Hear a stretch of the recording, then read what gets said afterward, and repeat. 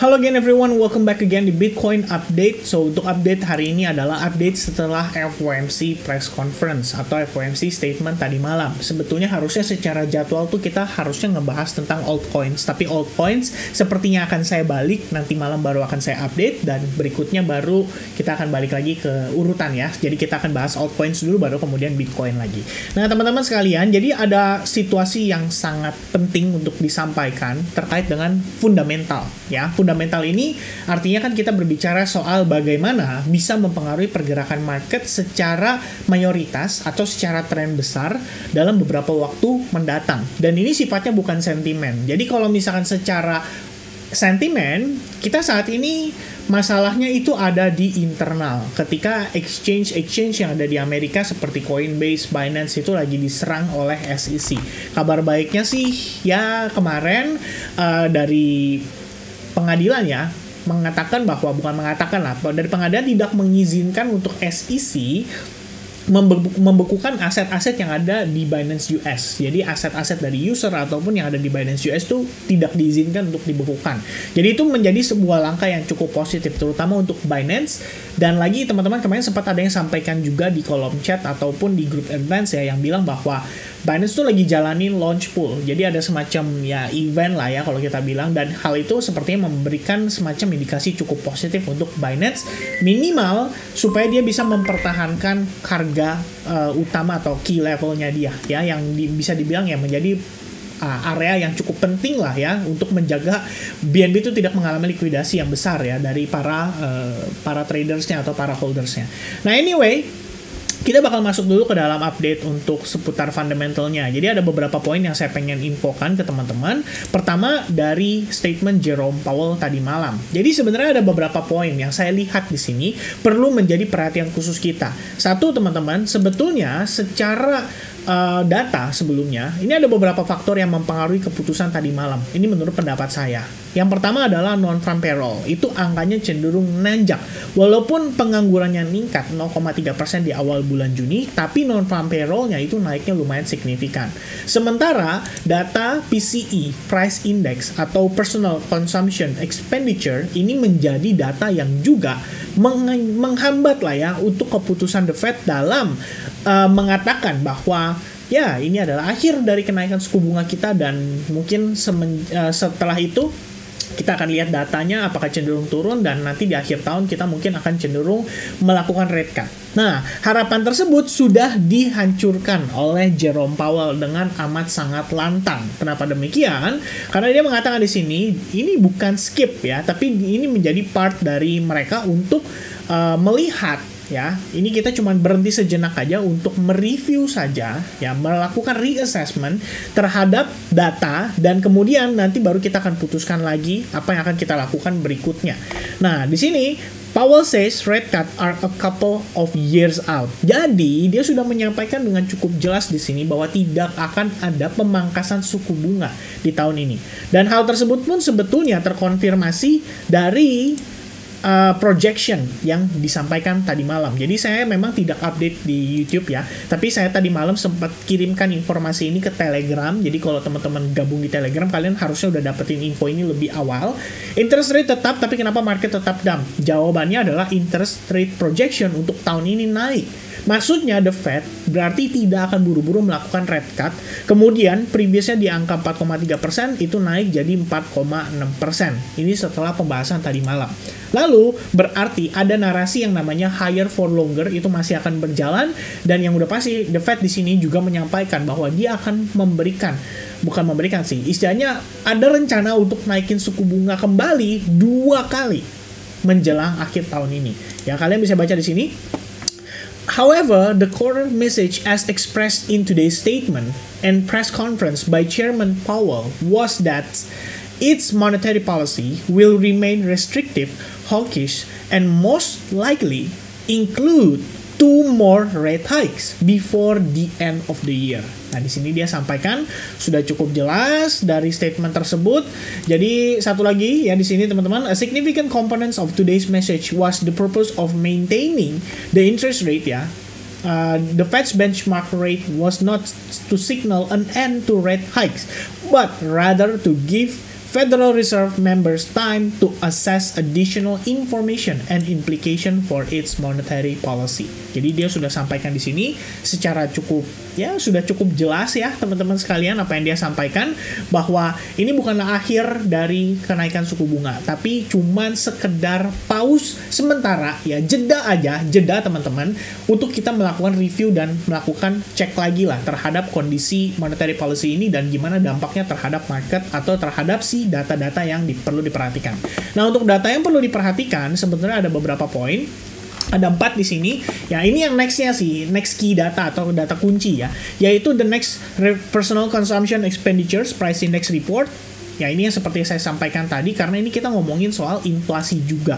Makanya saya sempat inform ke teman-teman ya, bukan bukan sempat sih. Sebenarnya kalau kita ngelihat ya, balik lagi apa yang menjadi concernnya The Fed itu bukan dari si CPI karena data CPI udah positif banget teman-teman. Anda bisa lihat bagaimana angka inflasi turun dari 4,9% menjadi 4% ya pada data di bulan Mei lalu. Kemudian PPI tadi malam ya itu sama mengalami penurunan dari 0,2% menjadi minus 0,3%. Ini udah bagus banget sebetulnya. Karena kita berbicara inflasi ya. Dan keduanya sudah menunjukkan angka yang relatif turun. Tapi ada satu angka yang nggak turun-turun yaitu US PCE Price Index atau Personal Consumption Expenditure.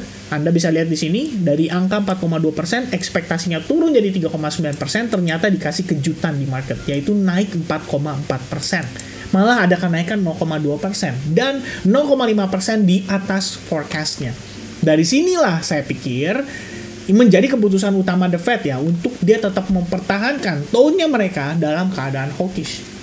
Oke, okay? nah dengan demikian secara midterm sebetulnya kita bisa katakan untuk financial market terutama stock market dan juga aset-aset beresiko itu masih akan terkena dampak Oke, okay?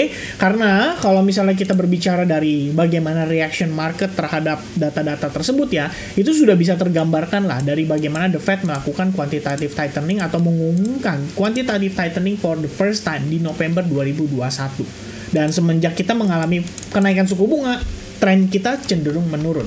Nah, memang sih di awal tahun kita melihat ada sebuah reversal terjadi pada market ya dengan sebuah pola terbentuk seperti inverted head and shoulders dan terakhir kita ngelihat ada mini head and shoulders ya. Kita sudah breakdown dari mini head and shoulders tersebut dan secara proyeksi target kalau misalnya kita ukur berdasarkan si head and shouldersnya itu semestinya ada di kisaran 25.000 ya dari dia break neckline ya teman-teman seperti ini yaitu ada di kisaran 25.000 dolar sampai kisaran 24.000 dolar. Nah, sejauh ini kita udah testing balik nih ke area 25.000 dolar ya. Beberapa waktu lalu Uh, mungkin sebagian dari kita ada yang merasa tidak begitu percaya apakah 25.000 itu bisa dicapai atau tidak. Kalaupun dicapai kelihatannya terlalu jelas ya, terlalu obvious dan harusnya di level itu tuh uh, akan banyak sekali order yang tersedia dan malah bisa membuat market rebound atau reversal lagi setelah kita testing ke level tersebut. Tapi nyatanya teman-teman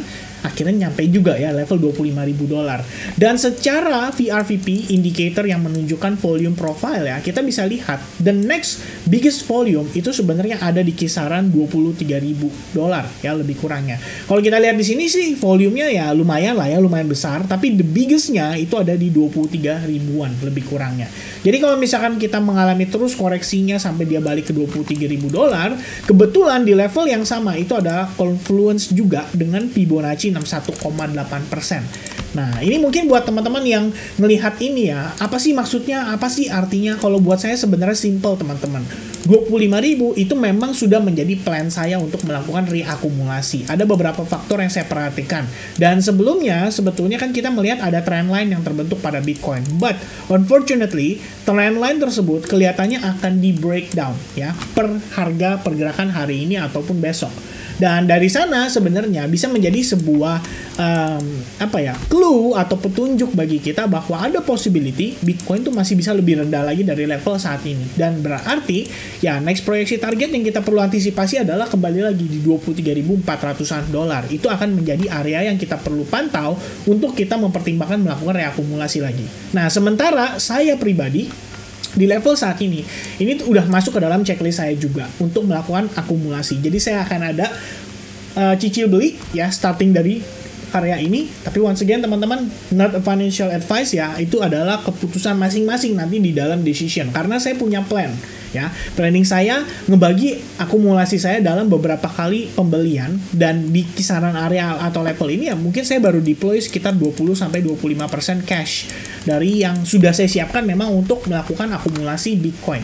Dan tentunya di sini teman-teman sekalian uh, tidak tidak mengubah keputusan saya ya terkait dengan apa yang saya sudah lakukan sebelum-sebelumnya. Jadi saya memang sudah melakukan akumulasi dan di level-level yang saat ini menjadi area yang menurut saya cukup menarik untuk kembali lakukan akumulasi ya di situ saya akan melakukan tambah atau beli lagi gitu ya.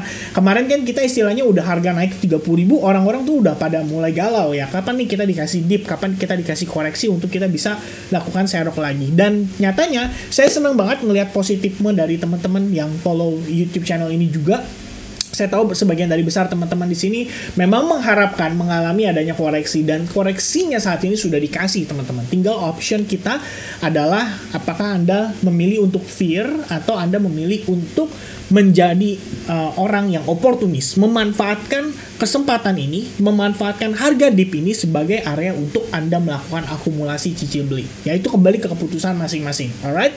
So next one, based on the hourly time frame, kita memang sudah melakukan review juga di market, at least dalam uh, pergerakan tadi malam, saya sudah antisipasi beberapa kali ya. Saya sempat sampaikan di sini di advance group update juga beberapa kali saya review ya, saya sharing di sana dari pertama kali kita mengalami breakdown dari si channelnya kemudian berikutnya kita ngelihat wah harganya naik lagi nih bertahan di atas demand zone. Tapi kita juga nggak create yang namanya higher high. Jadi masih bertahan di range Asia ya eh, di higher dari range Asia dan Fibonacci 50% kemudian setelahnya tadi malam ya setelah data ya nggak lama ya kita ada update dari segi fundamentalnya juga. Oke kita ngelihat wah bagus nih ya ada decline. Kita ngelihat ada trend line juga yang terbentuk di time frame hourly-nya. Dan pada akhirnya ini adalah sebuah channel. Channel yang artinya memiliki potensi membentuk yang namanya si bearish uh, flag pattern. Ya lebih kurangnya ya buat sebagian yang percaya kan itu dikatakan dengan istilah flag pattern. Dan pada akhirnya Oke, okay, kita ngelihat konfirmasi Bitcoin secara fundamental juga sudah mendukung dan ya kita ngelihat breakdown terjadi pada market. Dan terjadinya itu dalam kondisi yang sangat impulsif. Ini terjadi sekitaran jam 1 sampai jam 3 pagi ya kalau kita lihat teman-teman. Dan itu semua diakibatkan oleh FOMC press conference. Lagi-lagi seperti yang kita sampaikan di previous uh, pre-analysis di ya video sebelumnya. Karena memang kita sudah sampaikan bahwa ketika suku bunga diumumkan itu nggak terlalu berlebihan teman-teman. Yang menjadi kuncinya adalah apa yang disampaikan Jerome Powell pada saat proses press conference. Dan akhirnya kita melihat harga cenderung mengalami tekanan jual yang sangat tinggi setelah press conference itu berlangsung atau berjalan.